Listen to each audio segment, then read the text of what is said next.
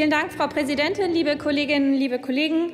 Die Freilassung von Billy Six ist aus venezolanischer Haft ist natürlich eine sehr gute Nachricht, vor allen Dingen für ihn, für seine Familie, für seine Freunde, aber eben auch für alle, die an den Rechtsstaat glauben und gängige Mittel autoritärer Regime mit willkürlichen Haftgründen, Journalisten zum Schweigen zu bringen, bekämpfen. Und das tun wir hier alle. Eine politisch eine politisch motivierte Gefangennahme ist in keinem Land der Welt, und das klang hier schon an, akzeptabel, unabhängig davon, welcher politischer Couleur und Gesinnung, unabhängig von Staatsangehörigkeit. Es ist deshalb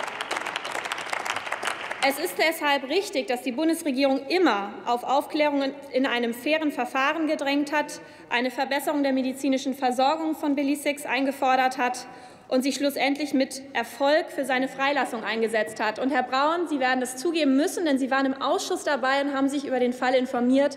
Warum sollte das Auswärtige Amt sich dorthin stellen und die, nicht die Wahrheit sagen? Umso perfider Umso perfider ist es nämlich, dass die AfD nun für sich hier reklamiert, die einzigen gewesen zu sein, die sich für seine Freilassung eingesetzt hätten.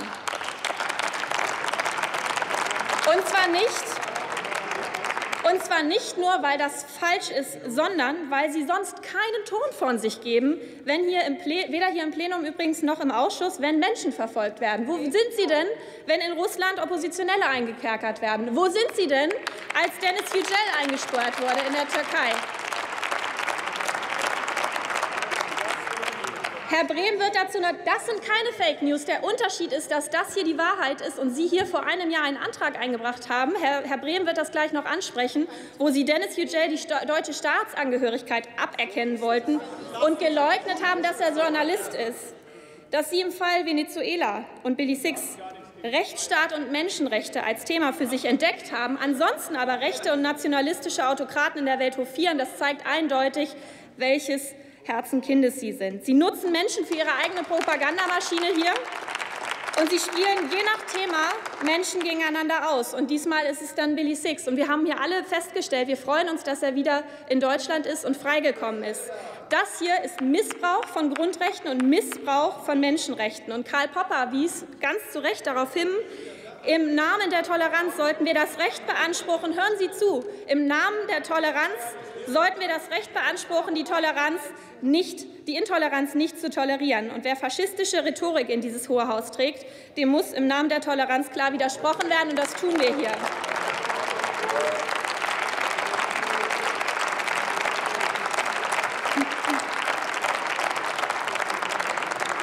Der Fall von Billy Six ist aber auch, und das haben wir auch schon gehört, exemplarisch dafür, dass in Venezuela es schon seit langem keinen existierenden Rechtsstaat mehr gibt.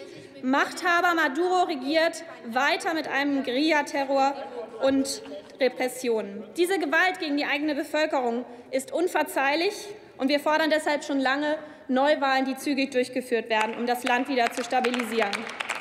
Es ist deswegen gut, dass Deutschland sich hier in diesem Kampf geschlossen an die Seite liberaler Demokraten stellt. Denn Hunger, es geht um das große Ganze, Herr Baumann. Ja, Herr Komning, es geht um das große Ganze. Nach UN-Angaben Herr Nick sagte das gerade, sind weltweit mehr Menschen auf der Flucht als je zuvor. Und Venezuela ist eines der Länder, die da leider traurige Superlative schreiben. An der kolumbianischen Grenze steht seit langem Hilfe bereit, doch diese Hilfe wird von Maduro abgelehnt. Hunger als Konfliktmittel einzusetzen, ist hier ein Verbrechen gegen die Menschenrechte.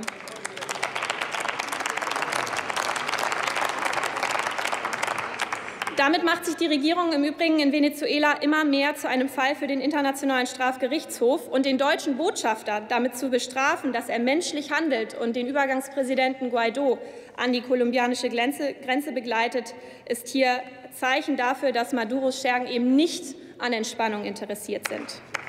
Und meine Damen und Herren, lassen Sie mich jetzt noch kurz auf die andere Seite des Plenums schauen. Fassungslos macht mich nämlich angesichts dieser Zustände, dass die Linke die Bühne ihres eigenen Bundesparteitages dazu nutzt, um einen sozialistischen Machthaber zu unterstützen und Solidarität mit Maduro zu fordern, für einen Diktator, der seine eigene Bevölkerung aushungert. Fassungslos macht mich auch, dass Ihre Kollegin Nastic fordert, Präsident Maduro in unser Programm Parlamentarier schützen Parlamentarier aufzunehmen.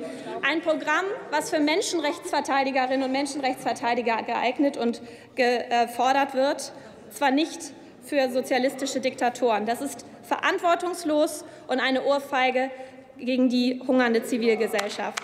Sie sind hier auf dem linken Auge blind, wie lange niemand mehr vor Ihnen. Und ich habe es damals schon bei Twitter gesagt und ich sage es auch heute wieder, schämen Sie sich und nehmen Sie nicht das Wort Menschenrechte in den Mund, wenn Sie ernsthaft glauben, dass ein Diktator auf Kosten von notleidenden Menschen auch noch heroisieren müssen. Herzlichen Dank.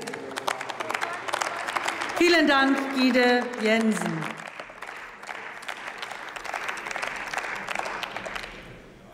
Nächster Redner in der Debatte für die Bundesregierung Staatsminister Nils Annen.